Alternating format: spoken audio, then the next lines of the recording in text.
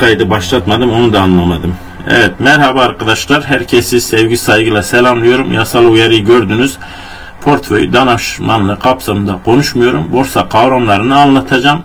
Bu borsa kavramlarını anlatırken arkadaşlar her birinin önemi ve işleyişi çarpanlarını anlatacağım.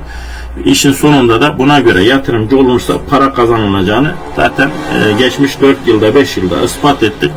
Gelecek 5 yılda da 55 yılda da bu kavramları e, dediğim gibi bir matematik öğrencisi nasıl üniversite hazırlanırken hani konuyu öğretmen anlattı diye çocuk öğrenci hemen onu kavradı işte bütün sorulara çözecek demek değildir. Onu çözmesi için ne yapması lazım? O e, formülü getirip sorulara e, uygulayabilmesi lazım. O, o sorular formülü gelip onlarca yüzlerce soruya uyguladığı zaman çözebiliyorsa konuyu kavramıştır. Burada da bu kavramları kavramak, kantitatif verileri çözmek, çarpanlarını bilmek ile sadece iş olsaydı bütün e, mali müşavirler köşe olurdu. Bunun olmuyor. Peki niye olmuyor?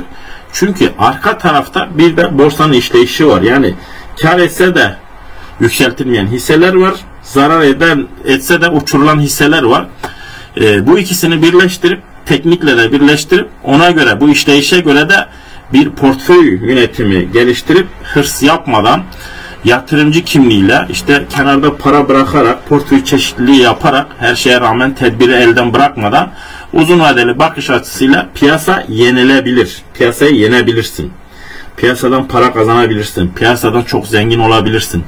Bunun en büyük örneği tabii ki Warren Buffett'tır, Peter Lynch'tir. Teknik analizle kazanan yok mu? Evet. Jim Simmons var piyasaların şifresini çözen adam e, zaten YouTube'a yazarsanız ya da kitap okumuşsanız e, teknik analizde de çok para kazanan insanlar o. Yani bu şu demektir.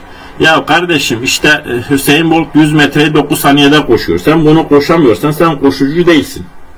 Ya bu işte teknik analizdir. Ama herkes 100 metreyi 9 saniyede koşabiliyor mu? Tabii ki koşamıyor. Peki 42 kilometre maraton koşup Değil mi? 100 metreye göre daha yavaş koşuyor ama 42 kilometre koşuyor. Daha uzun soluklu bir koşucu. O da bir sporcudur. O da birinci oluyor. O da ödül alıyor. Yani burada da evet teknikle sürekli vur kaç vur kaç. Teknik biraz vur kaça dayalı. Yani yukarı gidiyorsa al, aşağı düşüyorsa sat kaç, e tahtacı zarar etsin. E, tahtacı o tekniği vermiyor mu? İşte tekniğe uymadığı zaman e, teknikçinin ne olması lazım? Duygusal olmaması lazım. Robot gibi olması lazım.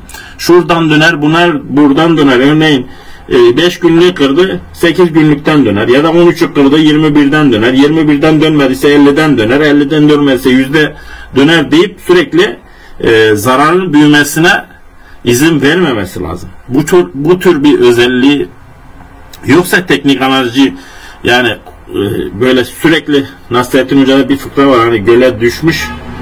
E, e, elimi tut elimi tut e, elini ver demişler önce pardon. Elini ver demişler elini vermemiş bir türlü. Hep hani tabi hocalar laf atmak için bu fıkrayı çıkarmışlar ama olsun. E, birisi anlamış ki e, e, el vermeye yatkın değil hep almaya alışık ya hep istemeye alışıklar e, al elimi demiş onun elini tutmuş gölden öyle çıkarmışlar. Yani burada da hep kar etmeye alışmış ama zarar kesse alışmamış. Atıyorum e, 100 bin arası 150'ye çıkmış güzel satmış. İşte 150'si 300 olmuş satmış ama 300'ü 270'e düşünce satamamış. İşte bu nedir arkadaşlar? Ee, zarar kesmeyi bilmeyen adamı. Bu teknikçi olamaz yani işte. O, orada eğer o hisse daha da düşecekse temel çünkü sen temel yaklaşmıyorsun. Yani o nereye düşeceğini bilemezsin yani. Temel yaklaşmıyorsa o zaman zarar edersin. O yüzden bu bizim işte herkes teknik analiz eğitimi veriyor. O çizgiyi kırarsa, o hareketli ortalamaya kırarsa ya da o Fibonacci e, hedefinin altına gelirse çöp sat git. İşte böyleler ne yapıyorlar? E, piyasaya bir hareketlilik getiriyor. Bir sürekli kazanma peşinde, sürekli ekran izleme zorunda kalma gibi bir şey getiriyorlar. Bunu da herkes yapamadı. Herkes böyle bir vakti olmadığı için e, yatırımcı olma kısmı çok az anlatılıyor. Ve o yüzden de insanlar borsaya gelmiyor. Ben bu işin bu kısmında değilim şu an. Tabii ki o kısmı da biliyorum. Onu da anlatıyoruz videolarımızda ama çok değil. Bizi asıl ilgilendiren nedir? Dediğim gibi kantitatif verileridir. Yani hissenin matematiğidir. Borsada yatırımcı olmaktır. Ee, bu nedir? Bir e, bakkala ortak olmak gibidir. Yani bakkalın içinde 10 milyonluk mal varsa sen ona 5 milyon verip ortak oluyorsan o işte yılın sonunda hani %20 kar marjıyla çalışıyor. İşte çok işlek bir yerdedir.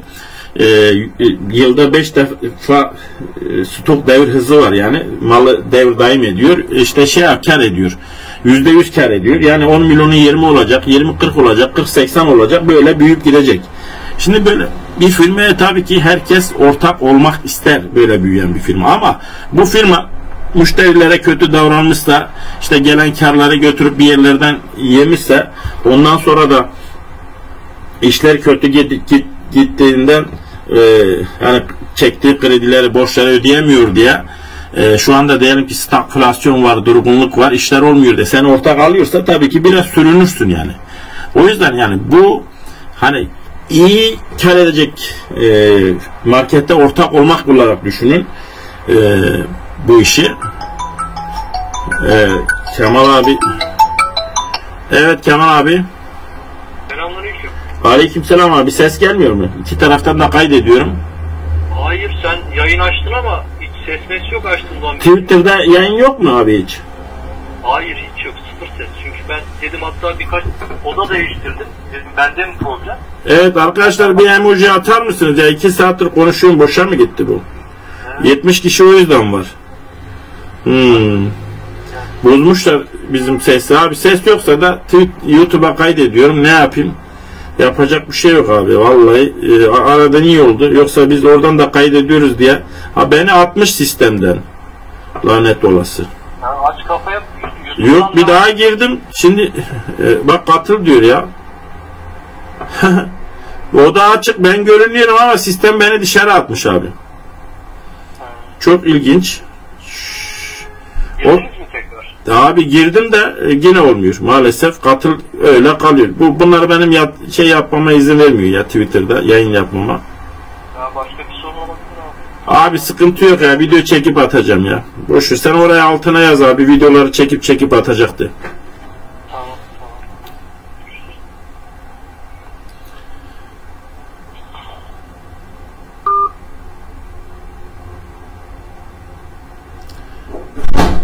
Evet hiç ses olmamış. Çok kötü oldu. Burası da inşallah öyle olmaz. Neyse.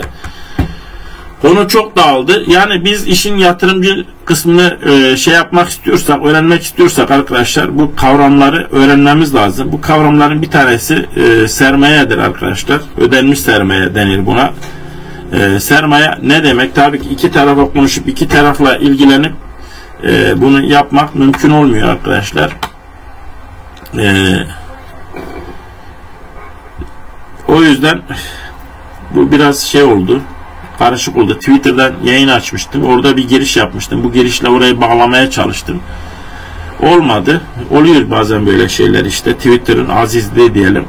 Neyse sermaye ne demek? Bir yatırımcının bunu mutlaka bilmesi lazım. Sermaye işte firmaya tüzel kişilik kazandıran eee onun böyle bütün işlemlerde kullandığımız çarpan oluyor borsada ama gerçek hayatta ne oluyor? Firmaya tüzel kişilik kazandıran kapitaldır tamam mı? Değerdir. Bu para da olur. Atıyorum bir e, dükkan, bir gayrimenkul da olur. Bir makina, e, değil mi? Teçhizat da olur. Bir masa saniye de olur. Yani onun bütün mal varlığı e, içindedir bu. Yani şimdi firmaya maliye beyan verirsin. Ben e, 10 milyonluk bir firma kuruyorum dersin. 10 milyonu işte gidersin bir yeri kiralarsın işte oraya eşya koyarsın 2 milyon odur 8 milyon da para koyarsın. İşte onun sermayesinin şey ödenmiş sermayesi ne oldu? 10 milyon oldu arkadaşlar. Bu bize 10 milyon neyi gösteriyor? Pay sayısını gösteriyor arkadaşlar. Pay sayısı ne oluyor arkadaşlar? İşte hisseler üzerinde gösterecek olursak sermaye bakın 350 milyon Ford'da. Efendim e, Gelsan'da 460 milyon. Ondan sonra e, Şişe'de 3 milyar. Bakın değişik değişik. Her firmanın sermayesi değişik. Bu bize ne anlama geliyor? Ne kazandırır? Bunu bilip ne yapacağız? Şimdi arkadaşlar gelen karı, yıllık karı buna bölerek hisse başına temettüyü buluyoruz. Ya da hisse başına büyüme diyelim. Ya da hisse başına karlılık diyelim. HBK denir. Onu, onu bulmamızı sağlıyor. E bunu bulsak ne olur? İşte bunu bulsak ne olur? 850 48 TL'lik hisse, 88 hisse, 49 ya da işte 3 liralık bir tane daha açalım ya da 20 liralık. Hangisi ucuz, hangisi pahalı işte bu kararı vermeni sağlıyor.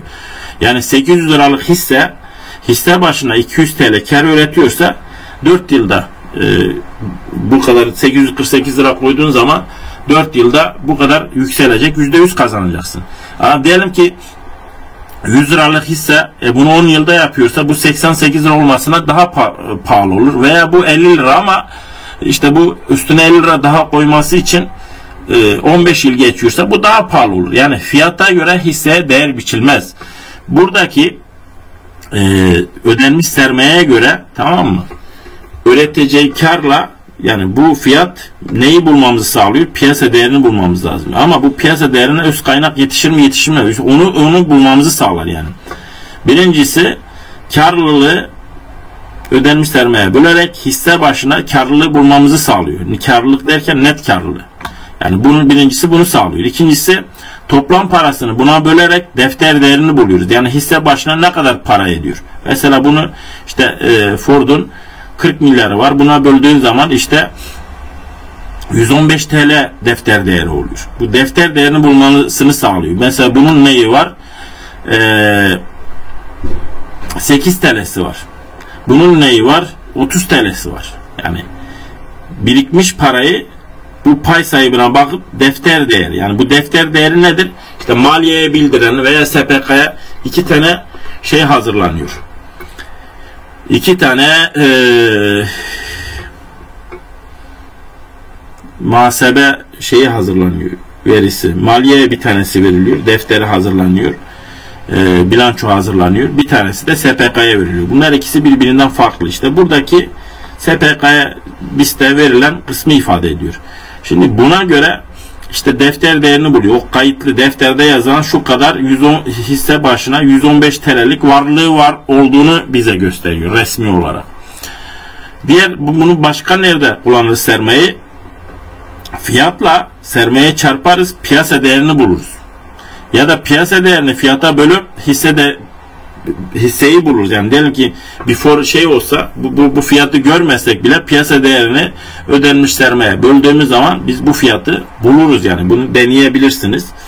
Dolayısıyla bunu 3 yerde 4 yerde kullanıyoruz. 1 e, gelen karlılığı buna bölerek hisse başı karlılığını buluyoruz. 2 birikmiş parayı buna bölerek defter değerini buluyoruz. 3 piyasa değerini buluyoruz. Bu 3 alanda da e, bize çarpan olarak lazım oluyor. Bir de hissenin neyini gösteriyor arkadaşlar?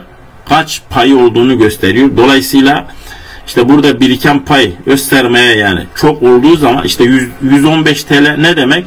115 defa yani bu sermayenin hepsini temet olarak ödemeyip buna eklediği zaman 115 yani bölün 115'e bölünmesi demek. Bir lotun varsa 116 lot olacak demektir. Böyleşti. Ya da işte bu ne kadar artarsa bu göstermesi işte bunun 350'ye düşen karlılık oranı o kadar artmış olur. Yani bu bize bütün çarpanlarda dediğim gibi lazım oluyor. O yüzden bu sermaye, bu çarpma bölme işleminde kullanmayı öğrenmemiz lazım arkadaşlar. Şimdilik bu kadar söyleyip bu videoyu sonlandırayım yoksa çok uzayacak.